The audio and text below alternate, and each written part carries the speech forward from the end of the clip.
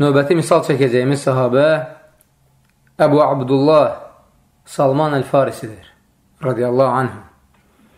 Salman Əl-Farisi, radiyallahu anhu, Peyğəmbər sallallahu aleyhi və səlləmin məşhur sahabəsi, iki qat savab qazanan möminlərdəndir. Uca Allah belələri barədə buyurur. Əl-ləzīnə ətəynəhumul kitəbə min qablihi hum bihi yu'minun. Və izə yutlə aleyhim qalu əmənnə bihi. İnnəhul haqqu min Rabbina. İnnə kunnə min qablihi muslimin. Ulaikə yu'təvnə əcrahum mərrətin. Bimə sabaru və yədra'unə bil həsənətis seyyiə və mimmə rəzəqnəhum yunfiqun. Qurandan əvvəl özlərinə kitab verdiyimiz kəslər ona iman gətirirlər. Onlara Quran oxunduğu zaman biz ona iman gətirdik. O həqiqətən də Rəbbimizdən olan haqdır. Biz ondan əvvəl də müsəlman idik, deyirlər. Səbr etdiklərinə görə onlara mükafatları iki qat veriləcəkdir. Həmçinin Peyğəmbər sallallahu aleyhi və səlləm bu xüsusda demişdir. Üç sinif insan vardır ki, onlar iki qat savab qazanır. Əvvəlcə öz Peyğəmbərinə, sonra da Muhammed sallallahu aleyhi və səlləmə iman gətirmiş kitab əhli iki qat savab qazanır.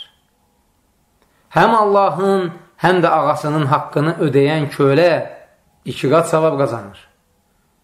Və bir də kənizinə yaxşı təlim tərbiyə keçən, sonra onu azad edib onunla evlənən kişi iki qat savab qazanır.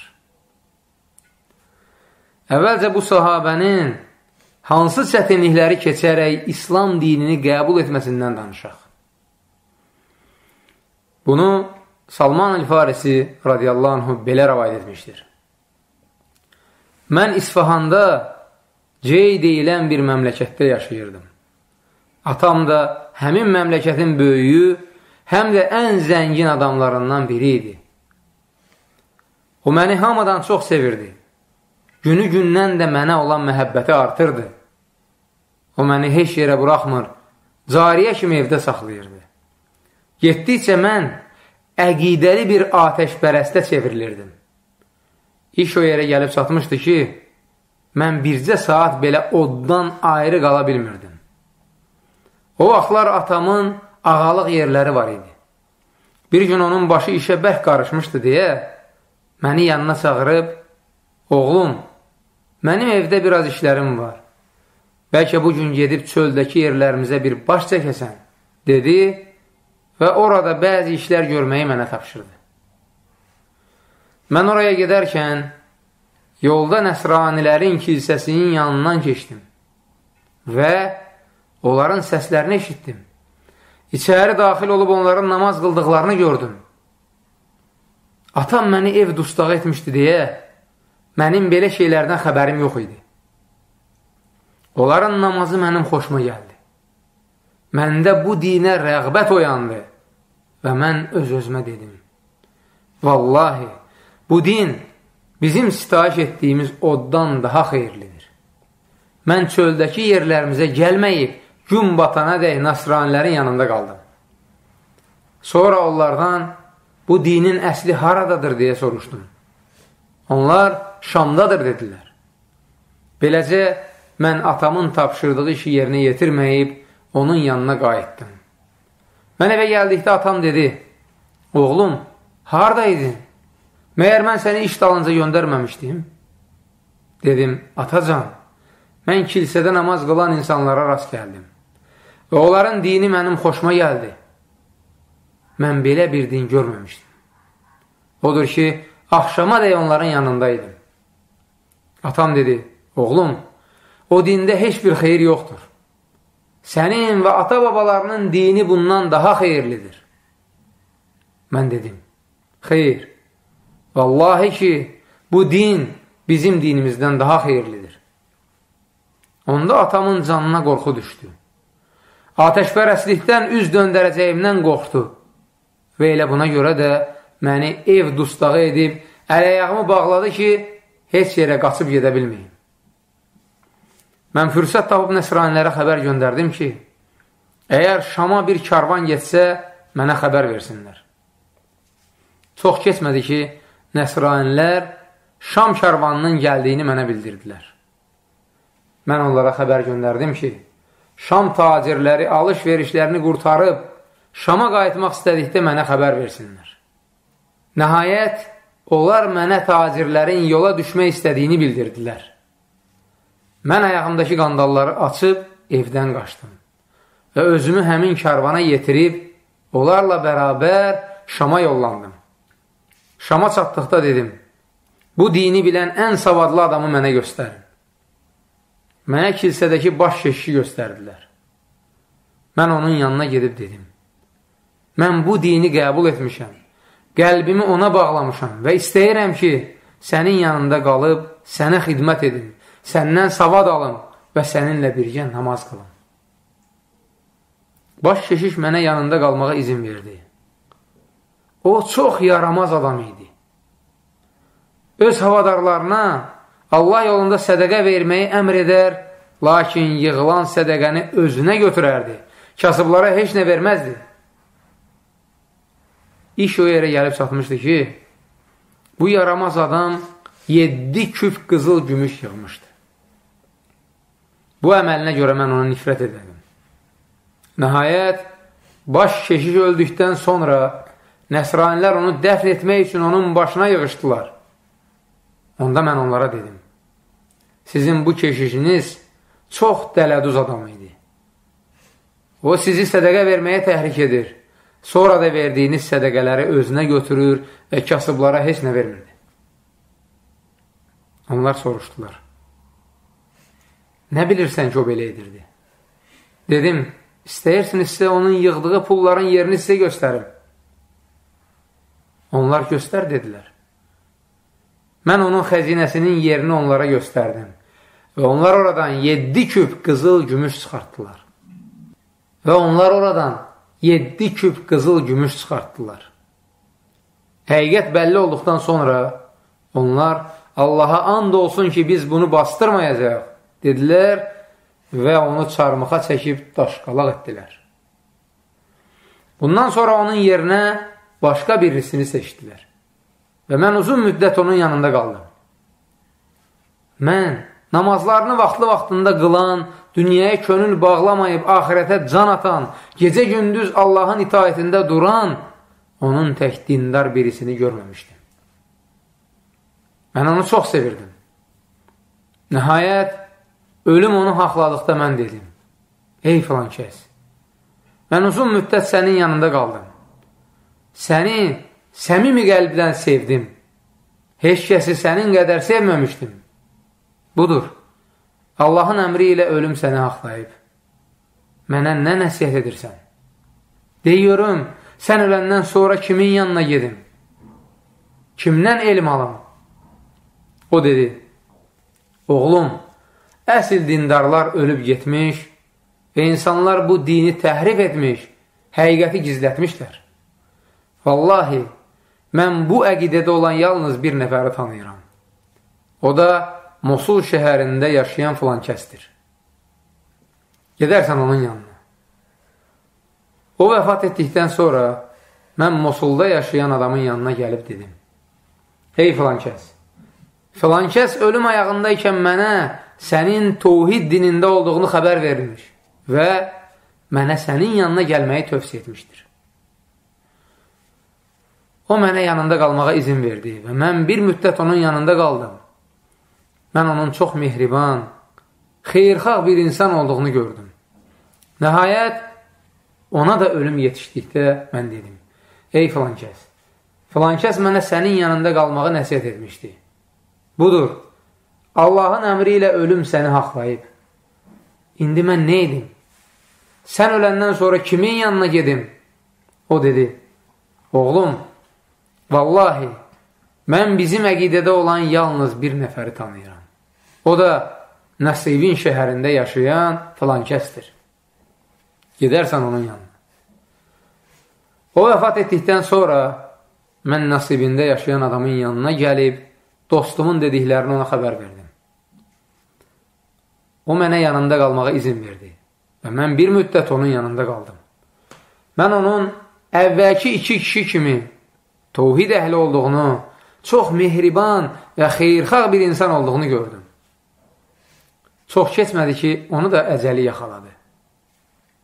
Ölüm ayağında ikən mən ona dedim, ey filan kəs, filan kəs mənə filan kəsin yanına getməyi, o da mənə sənin yanına gəlməyi nəsiyyət etmişdi. Sən mənə nə əmr edirsən? Sən öləndən sonra mən kimin yanına gedim? O dedi, oğlum, vallahi ki, mən bizim əqidədə olan yalnız bir nəfəri tanıyıram. O da Əmmuriyə şəhərində yaşayır. İstəyirsənsə onun yanına get. O vəfat etdikdən sonra mən Əmmuriyyədə yaşayan adamın yanına gəlib, dostumun dediklərini ona xəbər verdim. O mənə yanında qalmağa izin verdi və mən bir müddət onun yanında qaldım. Onun yanında qaldığım müddətdə Allah mənə çoxlu malqara və qoyun quzu nəsib etdi. Çox keçmədi ki, bu kişinin də əcəli yetişdi.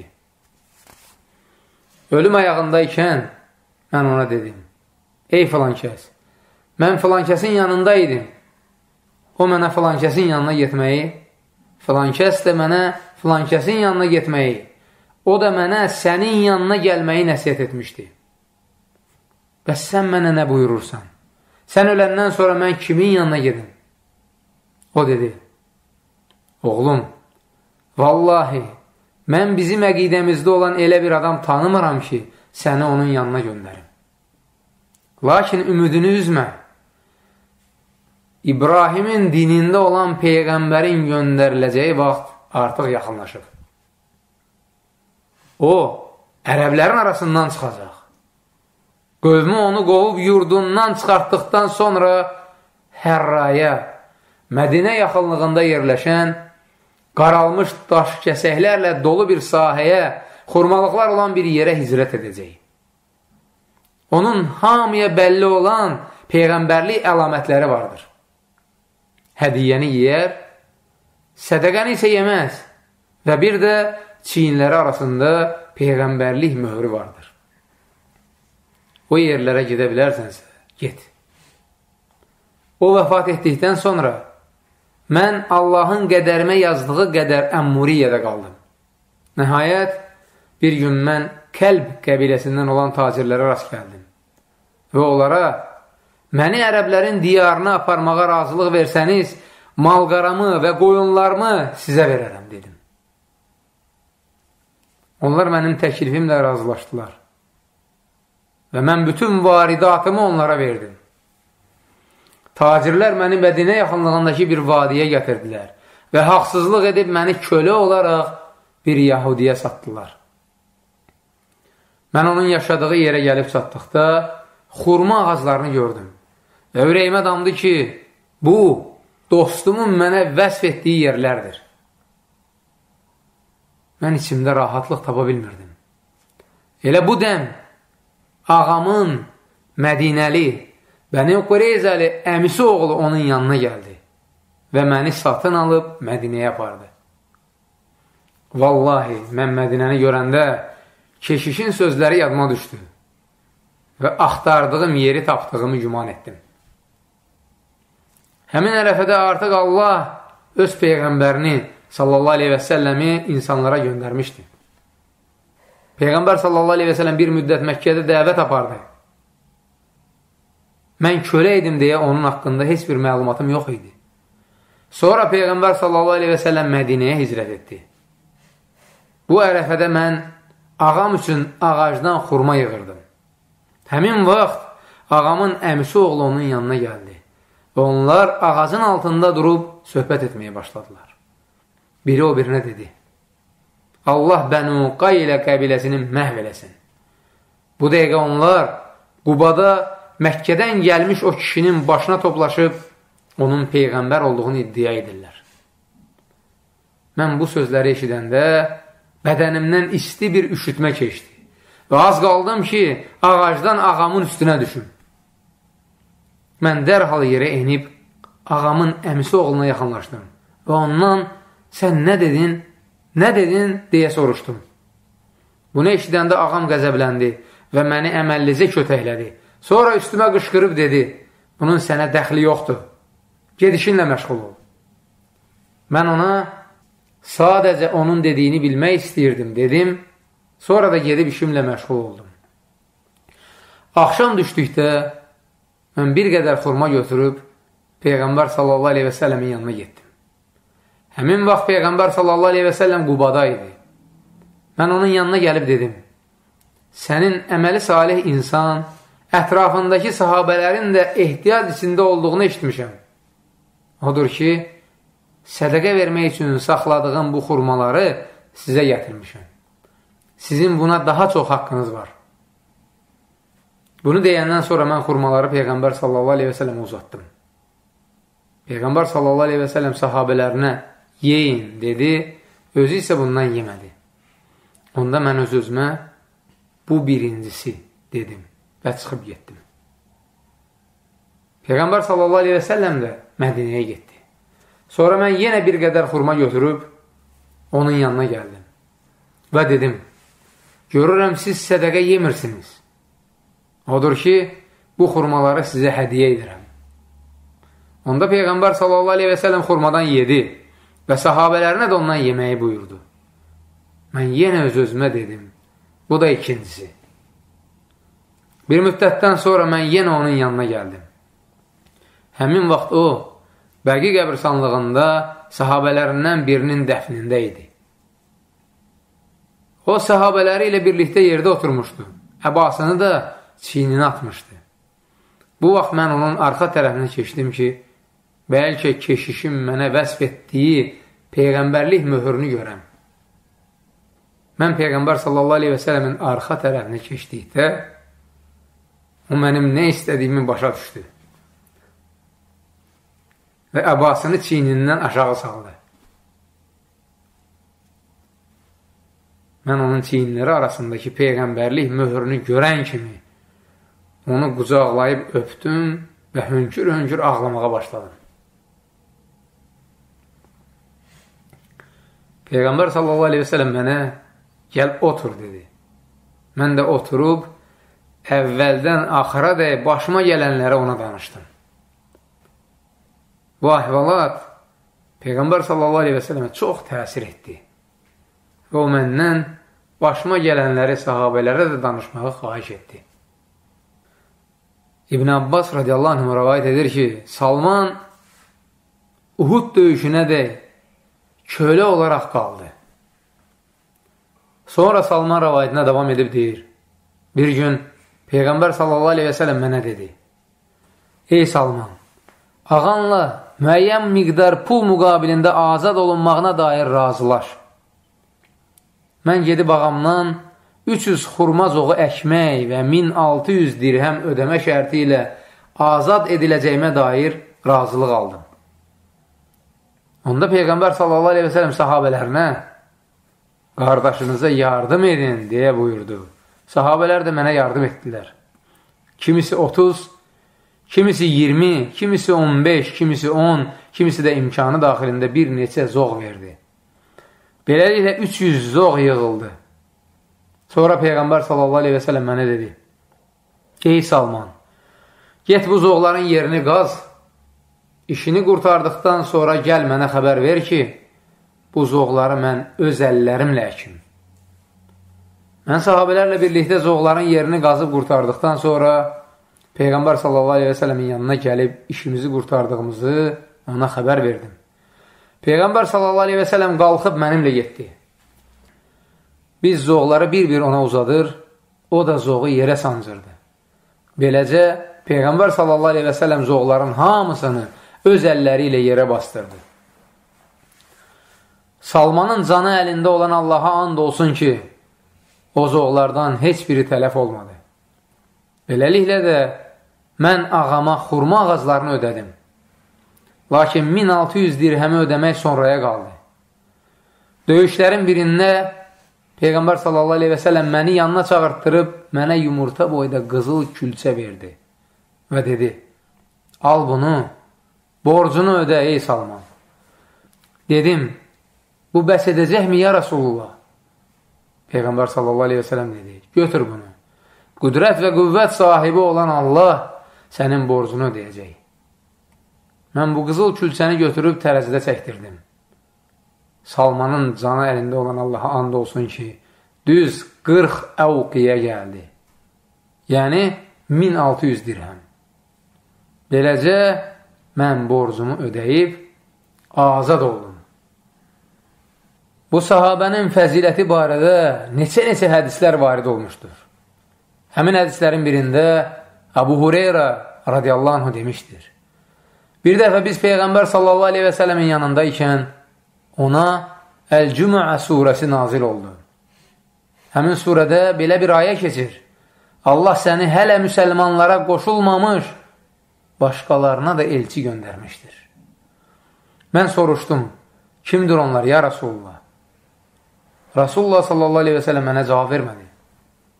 Mən sualımı üç dəfə təkrar etdim. Həmin vaxt Salman Farisi bizim aramızda idi. Peyğəmbər sallallahu aleyhi və sələm əlini Salmanın ayağının üstünə qoyub dedi.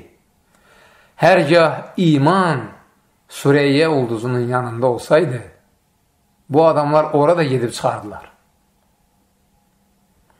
Digər bir hədisdə Peyğəmbər sallallahu aleyhi və sələm belə buyurmuşdur. Cənnət üç nəfər üçün darıxır. Əli ibn Əbi Talib, Ammar ibn Yasir və Salman əl-Farisi. Radiyallahu anhum. Uca Allahın bu sahabəni çox istədiyinə dalalət edən möhtəşəm bir hədisdə rəvayət edilir ki, Aiz ibn Amr radiyallahu anh demişdir. Hudeybiyyə sülhündən sonra sülh ərəfəsində Əbu Sufyan sahabələrdən bir toplumun yanına gəldi. Salman el-Farisi, Suheyb el-Rumi və Bilal da onların arasındaydı. Onlar onu görəndə dedilər, Vallahi, Allahın qılıncları Allah düşməninin boynundan götürülməmişdir. Sanki Əbu Sufyanı hədələyirdilər. Əbu Bakır, Qureyşin şeyxinə və böyüyünə belə söz deyirsiniz, dedi. Sonra gedib bu haqda Peyğəmbər sallallahu aleyhi və səlləmə xəbər verdi. Rasulullah sallallahu aleyhi və səlləm isə ona belə cavab verdi. Ey Əbu Bakır, bəlkə də sən bu sözünlə onları qəzəbləndirmisən. Əgər onları qəzəbləndirmisənsə, artıq Rəbbini qəzəbləndirmisən. Abu Bakır bu sözləri eşidən kimi dərhal onların yanına qayıtdı və üzrxahlıq edib dedi, qardaşlar, mənim dediyim sözü acığınız tutubmu? Onlar isə dedilər, yox əziz qardaş, Allah səni bağışlasın. Yenə rəvayət edir ki, bir gün Salman el-Farisi radiyallahu anhu Əbu Dərdə radiyallahu anh ziyarət etdi. Və onun zövcəsi Ummu Dərdanın əynində köhnə paltar olduğunu görüb, niyə bu görkəmdəsən deyə soruşdu. Ummu Dərdə, qardaşın Əbu Dərdanın dünyaya marağı yoxdur, deyə cavab verdi. Sonra Əbu Dərdə gəlib Salmanın qabağına yemək qoydu.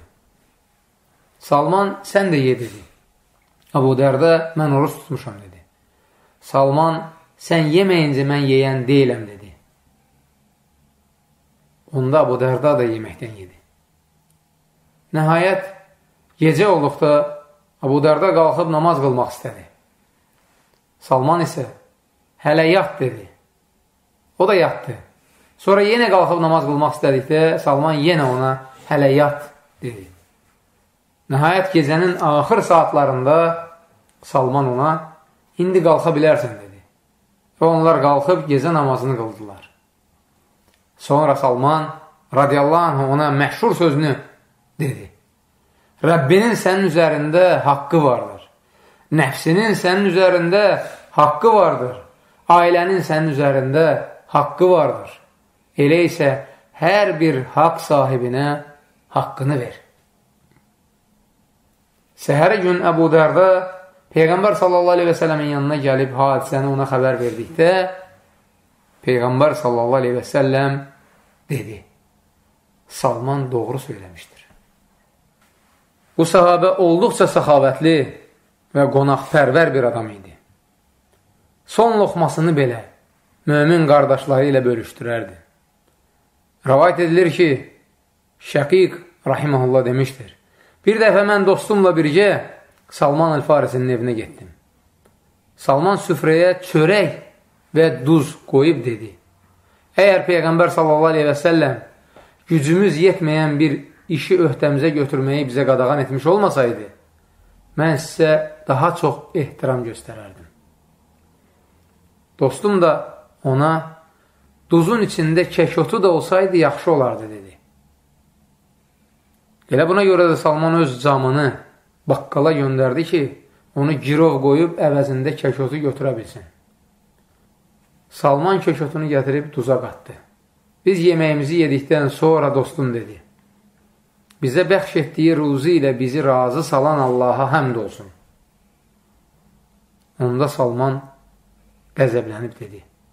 Əgər sənə verilmiş ruziyə qani olsaydın, mənim camım baqqalın yanında girov qalmazdı. Bu rəvayətdən nə aydın olur, qardaşlar? O aydın olur ki, bu adama nə qədər dünya malı gəlsə də, qənimətlərdən onun payına nə qədər mal dövlət satsa da, o onu dərhal kasıb küsubə paylayırdı. Özünün evində olan yeməyə baxın. Duz, çörək. Bu sahabənin möhtəşəm bir sözü var. Tarixə qızıl hərflərlə yazılası bir sözdür. O demişdir. Heç bir mübarək yer adamı müqəddəsləşdirmir. Adamı müqəddəsləşdirən onun əməlləridir. Bu sahabənin vəfat edəndə sandığında heç 30 dirhəmi yox idi. 20 neçə dirhəm pulu var idi. Radiyallahu anh.